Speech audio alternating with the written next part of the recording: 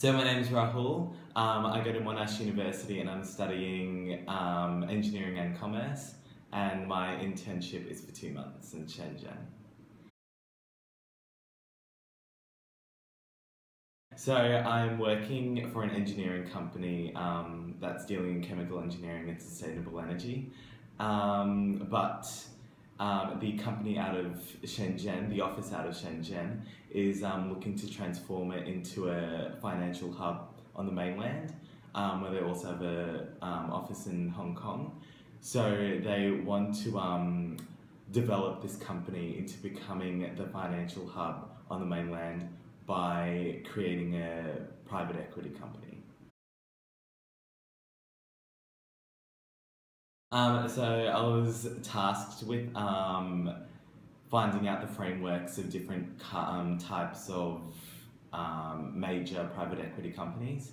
So I looked at um, how companies built up their structures and how they became profitable um, as well as prestigious. I was also tasked with creating a document that outlined these frameworks and also compared the strengths and weaknesses of them. Yeah, yeah, they've all been great. Um, my supervisor, he's so kind and really helpful. Um, and he himself was an intern, so I found that to be like a really good starting point. And he was just so open and helpful. And um, we have another colleague here, and she's just so nice and kind, and she's always helping me out, always giving me things to do, always asking how I am. She's really good. I'm not sure if I can put it down to just one thing. The apartment is definitely something to look forward to. It's one of the best things about it, honestly. And I think, um, yeah, the interns I'm with, they also really help to make it a really fun, exciting program. And also, I don't know, just everything about it, even the the um, activities that they plan for us, all the Chinese business seminars and the um, cultural activities. Like I'm really looking forward to that, and everything is just so exciting about the program. Yeah.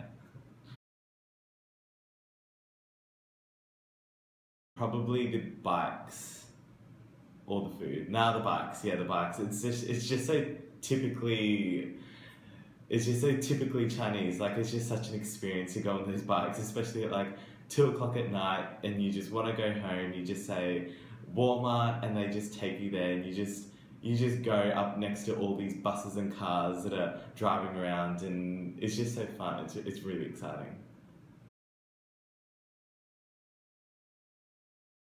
Probably the driving as well. like every time I was on the bus, and you just look out the window and see a car just trying to merge into the lane. Like there was no giving way or anything. It was just you just hope for the best and just go into that lane. Like I was scared that we were about to crash like four times. Um, but if not the transport, then what else was the craziest thing? Oh, trying cow's blood for the first time. That was a bit exciting, a little bit crazy. I had it on my chopsticks and I asked a colleague, I was like, what's this? And he's like, cow's blood. Like it was the most normal thing in the world, but like it was an experience. It was really good.